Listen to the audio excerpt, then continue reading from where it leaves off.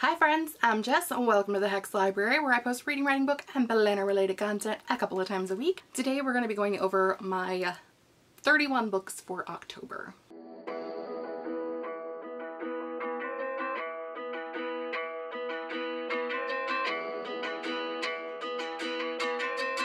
If you're new here, which, hey, a lot of you are, hello, welcome. In October, I always do a 31 books in October where I try to read 31 books in 31 days.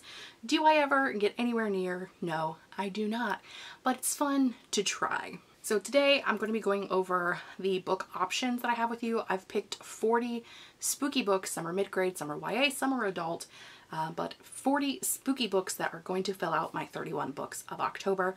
I will be prioritizing my TBR books and uh, I have a bunch of spooky arcs that I need to get to because a lot of them came out in September and August and we're into October.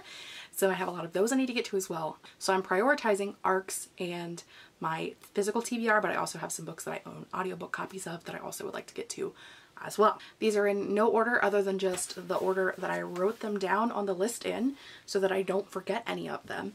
Um, if you want to see my planner video where I set up my October planner, that actually should be the video directly before this one. Let's go over the books first. The first half are my physical TBR books, and then it's kind of a mix of books that I have uh, arcs of and ones I don't, and we'll go over those.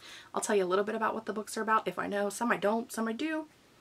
We'll go from there. The first two are the last two books of the Sarah Normal series. They're book 10, A Perfect Storm, and book 11, Yesterday and Today.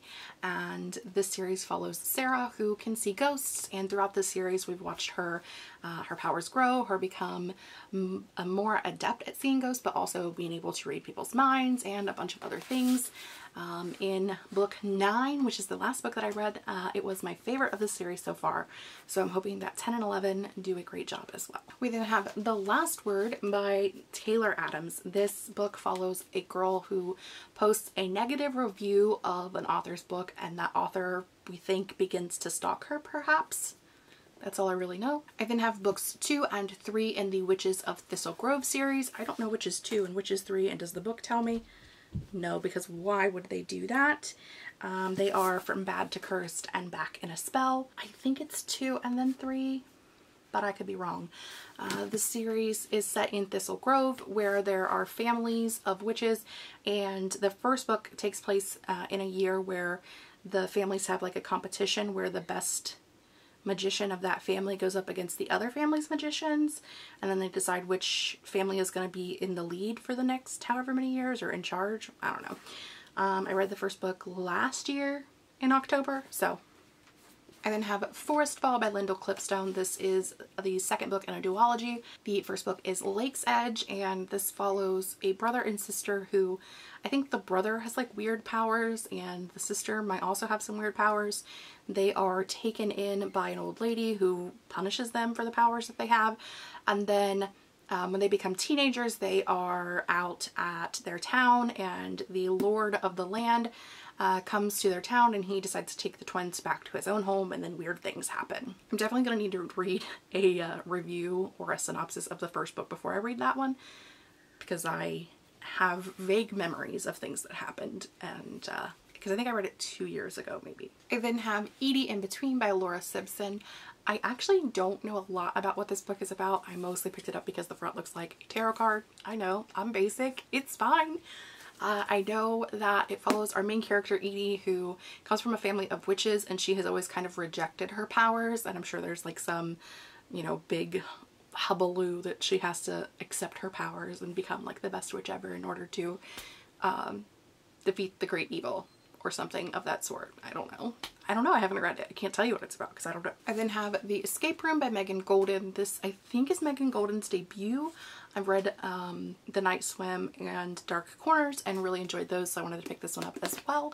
And this follows a group of coworkers that are going to like a team building exercise where they are in an escape room and people start to die. The Whisper Man by Alex North. This one follows a I think there was like a serial killer in the past and he's been arrested and then in present day like things are starting to happen again where they think that maybe that serial killer had trained a apprentice and the main character's son is now hearing like the whispers of what precedes the child being taken and murdered.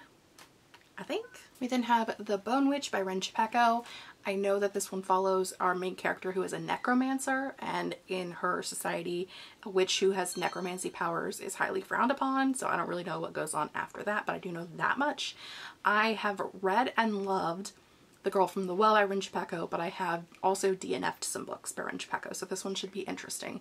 This one's kind of like a third time's a charm. Like either I will read this one and love it and keep reading Rin Chupeco or I'll read this one and hate it and probably won't pick up anymore. We then have None of This Is True by Lisa Jewell. I have not read Lisa Jewell before. Um, this was part of the Book of the Month selections so I went ahead and picked it up. I know it follows a podcaster who does podcasts of true crime and something happens that then makes them kind of like the topic of a true crime. not really 100% sure on that but we're rolling with it. I then have Just Another Missing Person. This one is by Gillian McAllister. I read her previous work, Wrong Place, Wrong Time, and absolutely loved it. Therefore, I have no idea what this book is about because I picked it up from Book of the Month with zero clue and just went full force into it. The Haunting of Lee Harker by Darcy Coates. It's a Darcy Coates. If you're new here, I have been working slowly um, and enjoyably through all of Darcy Coates' novels. I especially prefer her haunted house stories um, to her more like sci-fi or um, where like the human is the bad guy stories. But I have been having a great time reading through them, so I'm excited to get to this one. I then have two books by M. Verano. They are Diary of a Haunting and Possession. They are in this bind up. Why are they in a bind up uh, called Diaries of a Haunting when it's technically a trilogy? I don't know the answer to that question because they did a bind up of only the first two books. The third book's not in here. I don't know. I have no idea but I know that they both involve some kind of like a possession haunting. That's what I got. Okay. This Wicked Fate by Kalynn Bayron. This is the sequel to This Poison Heart, which I read a couple of months ago and really enjoyed. It follows our main character, Briseis, who has this power to control plants or they at least act very strangely around her. Um, she can make them grow. Um, they will like lean toward her like she is the sun that they need to survive. And in the first book, she lives in New York City with her two moms. She knows that she was adopted as a child and a lawyer shows up at her door and says, hey, guess what? We know that your mother's been dead, but now your aunt has died and she has left you this massive estate out in the country and you need to go and check it out. And so that's what her and her family does and weird things start happening because they're in the country in the middle of all of these plant life and plant life reacts weird around Briseis. First book was really good, had to pick up the second, ready to read it. One of Us is Next by Karen M. McManus. This is the follow-up to One of Us is Lying. That book's been around booktube forever. I'm sure you know what it's about. It's about, I think, five or six students where one student dies in the middle of a classroom and we have to figure out who did the killing. And the last five books that I have physical copies of are books from the Creepover series. I have been reading through this series for the last, I don't know, five or six years. Um, these are books 17, 18, 19, 21, and 22 because I already read book 20 and this is the last of the series that is published.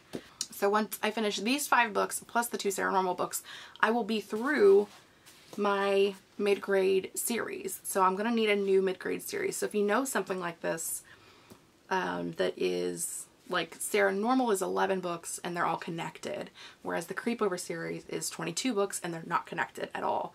They are all separate. So um, this one is about zombies because it's called It Spells Zombie. Don't Move a Muscle, that's got something to do with a graveyard. The Terror Behind the Mask, which is them in a basement, so I'm assuming there's a mask in the basement. The Ride of Your Life, which is at a carnival. And Your Worst Nightmare, which looks like it has a clown on the cover of some sort. So these are, as I say, I always look at like what the spooky meter on the back is because that typically tells me how much I'm going to enjoy the book. It has this creepo meter on the back. And so of these five, two of them are a four spooky and three of them are a five spooky. So theoretically, I should really like all five of these, but we'll see. Then we're into um, books that are either ARCs or I own digital copies of. First of which is Thicker Than Water by Megan Collins, which I own a audiobook copy of. I don't know what that book's about, but I've read other books by Megan Collins that I've really enjoyed. So it's on the list. The Book of Witches, which is an anthology of short stories about witches and is an arc. Survive the Night by Riley Sager. It is to this day the only Sager that I have not read. I know it's everybody's least favorite, so I keep putting it off, but I do need to read it eventually. The Witch is Back by Sophie H. Morgan, which is a witch book, but I think it's a romance. Don't know what it's about, also an arc. Vampires, Hearts, and Other Dead Things uh, by this person that you can see on the screen, uh, I think is a YA and I think is also a romance. The Night House by Joe Nesbø. Don't know what this one's about. It's an arc and it's an adult horror. My Roommate is a Vampire by Jenna Levine, which is an arc and is a romance. The Hexologist by Josiah Bancroft, which is an adult. Don't know what it's about. Probably got something to do with witches. It's also an arc. Hex Education by Maureen Kilmer is an arc I know it involves three witches who were together in school and I believe there was like a fire, something bad happened and they are getting together uh, in the present day. They haven't really seen each other for a long time. I don't know what's going on in present day, but I know there's something going on because obviously or there wouldn't be a book. Not Your Crush's Cauldron by April Asher. This is the one I'm least likely to read during the event, mostly because it comes out on February 13th, so it's like the farthest away. Um, it is an arc. It is the third book in the Supernatural single series, the first of which is Not the Witch You Wed. Each book follows a different sister. Um, the first book was the oldest sister, the second book was the middle sister, now we're getting the youngest sister, um, and her relationship with a guardian angel. Should be a fun time. Also, romance. The Hunting Moon by Susan Dennard is an arc. It is the sequel to The Luminaries, and it follows our good friend Winnie Wednesday, who is a luminary, which means that she hunts monsters, nightmares, evil things in the woods that kill people. The Witches of Bone Hill, which is an arc by Ava Morgan. I don't know what it's about. I've heard from Ava Morgan in the past and really liked it, so I got the arc and then promptly forgot what it was about. Extra Normal by Kate Alice Marshall. This is her mid-grade. It is the newest one. I think it either just recently came out or will be coming out in early October. I can't remember which because no one is as busy as Kate Alice Marshall. She had an adult, a mid-grade, and a YA come out in 2023. The power of this woman has no limits. I am so excited. I've already read the other two and now I get to read the mid-grade. Don't know what it's about.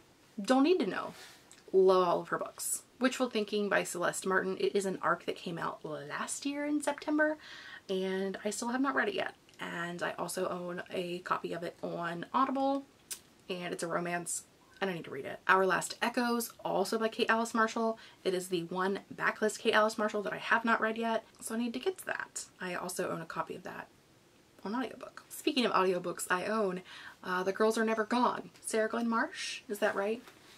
It's someone that I've read their books from before. I know it has something to do with a girl and there's a ghost and it's sapphic. Does she fall in love with a girl ghost? It's possible.